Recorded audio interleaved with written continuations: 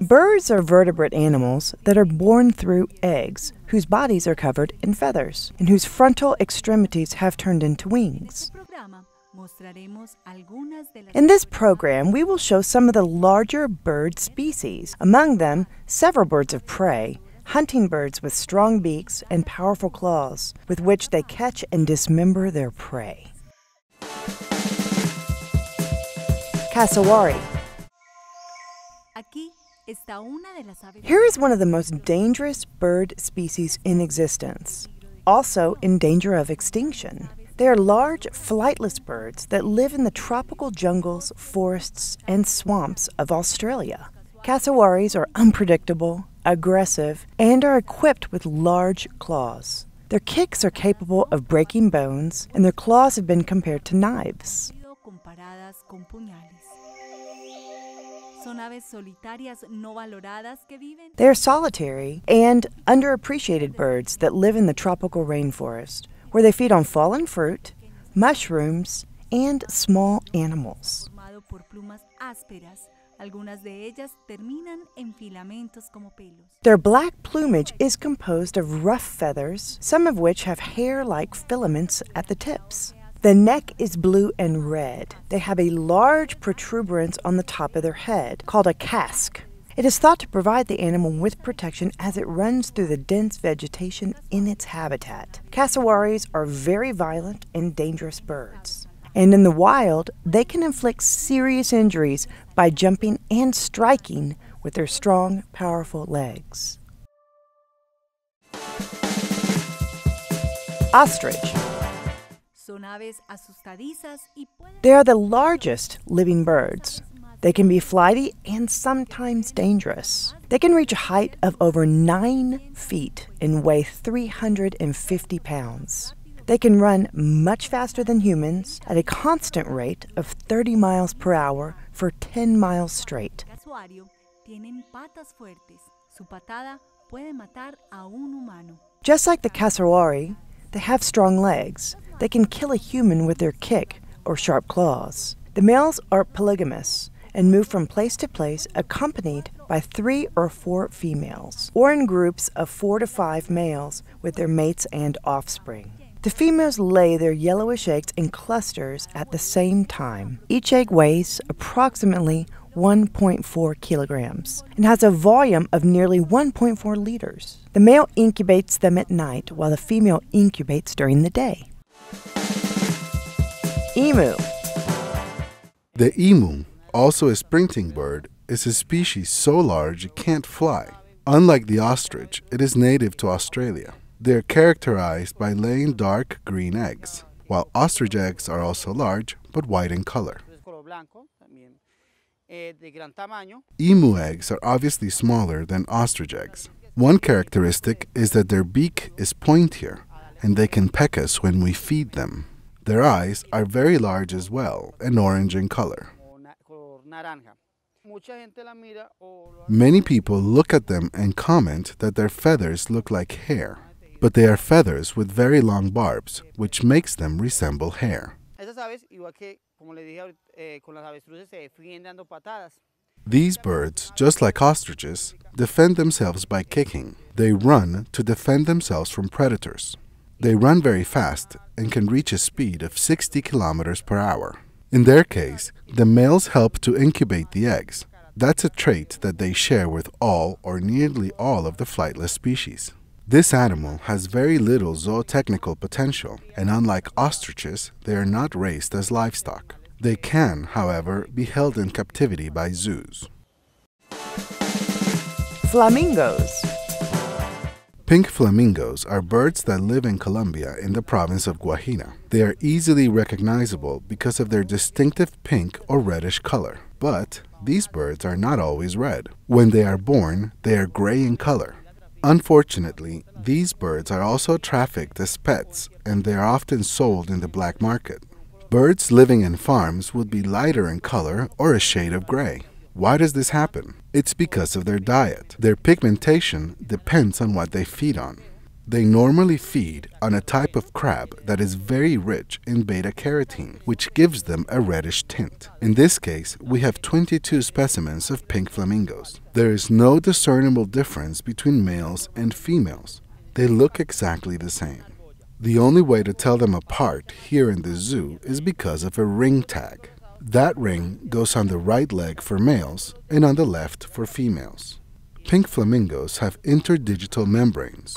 What does that mean? That here, in between their toes, they have a membrane they use to swim, just like ducks. La mayor parte de sus días se alimentan. They spend the greater part of their days feeding, grooming, and resting. When they groom, they spread throughout their body a natural oil secreted by a gland at the base of the tail. This oil coats their plumage, protecting it with a waterproof coating. Flamingos are an oddly gregarious species throughout the entire year, and they need mass gatherings to preserve their normal life cycle. Para su ciclo vital normal. La curiosa Their beak has an unusual shape, since it also acts as a filter with which it can separate food from mud and silt. Harpy eagle. A bird of prey or a raptor is a bird that hunts prey for food, using its beak and its sharpened claws. Their beaks and claws tend to be relatively large, powerful, and adapted to shred and or rip through flesh. The fundamental characteristic of these birds of prey is their hooked beak, with which they can shred flesh, and their curved claws. Among them, we have the harpy eagle, which is the largest in Colombia. In these birds of prey, we find that the male is smaller than the female. The female is much larger. This physical difference is known as sexual dimorphism. The harpy eagle is a bird that has adapted to, to hunting sloths and monkeys. It is a very large bird. So, when a monkey is climbing up a tree, she kills him easily with her claws. Her claws are so powerful that she can bury them in the skull of the monkey and do the same for a sloth. In the park, we feed her dead meat, such as horse meat. If the animal is a carrion eater, we feed them dead but not decomposed meat. And for raptors, we try to give them live prey, such as rabbits, cuys, or quails, but only once a week. We don't feed them continuously because many animal rights groups say it's cruel for animals to die here under those conditions, so we give them dead meat. And every once in a while, we feed them live prey so that they can maintain their hunting instinct, so they can sharpen their beak with their bones, tear out feathers, etc. We raise their prey right here. We raise the rabbit and cuys that we feed them, and we buy the quails. Reproduction of birds in captivity. All birds reproduce by laying eggs. The gestation period will vary depending on the species. It takes an average of 32 days. Here, we are not reproducing the birds. We only have one male and we need more females. When we are talking about wildlife living in captivity, it's not as simple as putting a male and a female together. It's more complicated than that. We need to do research in order to ascertain the minimum requirements for the animal to breed. Animals have something we call courtship.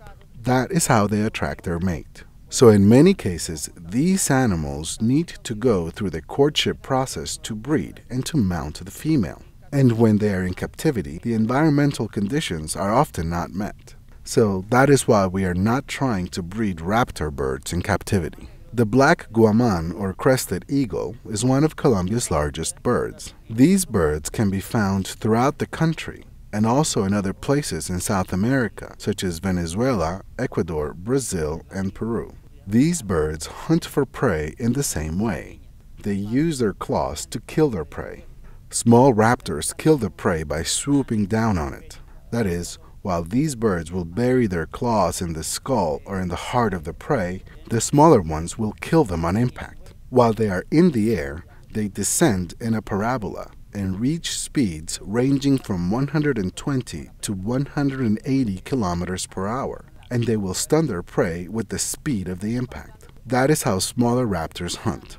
Larger raptors take advantage of the strength of their claws and they grab the skull or even the heart with their claws. This is one of the few black raptors that we see. It also has a plumed crest. It's a bird that lives in humid jungles in areas with a lot of tree cover. Due to their large size, they can't fly in between trees. So what they do is to hunt animals that are on the periphery of the forest or near the top of the trees. That means it feeds primarily on primates or other large animals. Here, we feed her a daily meat portion of 200 grams and even 350 grams for the larger birds. Everything has been calculated to prevent them from getting too fat, since here they will lead a sedentary life. And even though this is a large cage, it's small for them, and they don't get enough exercise, so they can get fat, which can cause them to get sick and die.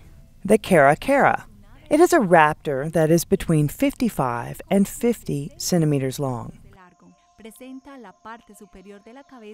The upper part of its head is black, its neck is grayish black, and its back and breast have broad gray brown and grayish white stripes. It prefers to eat carrion, and it can be often be spotted eating animals that have been run over in the road. It is also an opportunistic hunter that attacks young and wounded animals. Its line of attack is to peck at the lips, eyes, and anus of its prey until it dies and can be eaten. Condor. These animals feed exclusively on dead animals, what we call carrion. Animals that have been dead anywhere from a day and sometimes even several months. Their digestive system is so strong that it can handle this. It has the enzymes required to digest and eat dead animals. One trait of carrion eaters is that they have no feathers on their head. They are bald. Why? Because, since their food source is dead, if they were to poke around and had feathers, they would be quickly smeared with blood, bacteria, and flies. And since they can't groom their own head, so that is why we can spot these carrion eaters, since they don't have feathers on their head, such as vultures, which we call chulos. Condors are also carrion eaters. An interesting trait is that their feces have antiseptic properties, like alcohol, and they can ingest them as well. So when they defecate a lot, they will do so on their feet to cleanse them of parasites. One way to tell the male and the female apart is that the male has a crest that hangs here above the nose. The females do not have it. Her head is very colorful. It has a black and orange color that makes this species stand out.